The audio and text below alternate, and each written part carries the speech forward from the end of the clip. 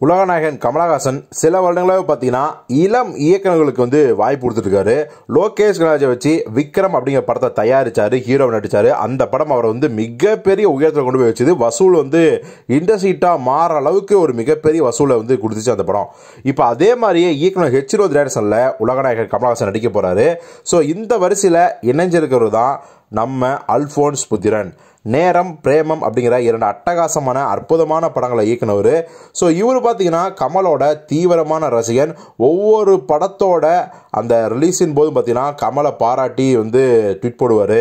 அதே மாதிரி கமல் தான் எனக்கு வந்து சினிமாவை கற்றுக் கொடுத்தது. அவருடைய மைக்கேலுமான காமராஜன் அபூர்வ சார்கள் இந்த மாதிரியான படங்களை வந்து பார்த்து தான் நான் இன்ஸ்பயர் சினிமாவுக்கே வந்தேன். அவர் வந்து அவர் படங்களை வச்சே கிளாஸ் எடுத்தால் நிச்சயமாக நான் அதில் வந்து நம்பர் ஒன் ஸ்டூடெண்ட்டாக வருவேன். இப்படியெல்லாம் வந்து தொடர்ந்து கமல் புகழ் பாடிட்டே இருப்பார்.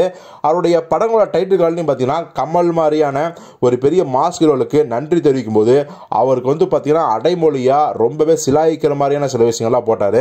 ஸோ இப்போ பார்த்தீங்கன்னா அவர் இயக்குன கோல்டு படம் வந்து பெருசாக போகலை. ஆனால் இந்த கோல்டு படத்தை பார்த்த கமல் அவர்கள் ரொம்பவே இம்ப்ரெஸ் ஆகிட்டாராம் அல்ஃபோன்ஸ் புத்திர தன்னுடைய அலுவலகத்துக்கே கூப்பிட்டு கமல் வந்து அவருக்கு ஒரு மூணு ஒன்லைனை சொல்லி இந்த மூணில் ஏதாவது ஒன்லைனை ஃபுல் கதையை ரெடி பண்ணிட்டு வந்து என்கிட்ட சொல்லுங்க. நான் வந்து உங்க டைரக்ஷனில் நடிக்கிறேன் அப்படின்னு சொல்றாராம் ஸோ இந்த ஒன்லைனை வந்து டெவலப் பண்ற முயற்சியில் நம்ம அல்ஃபோன்ஸ் புத்தன் இருக்காரு.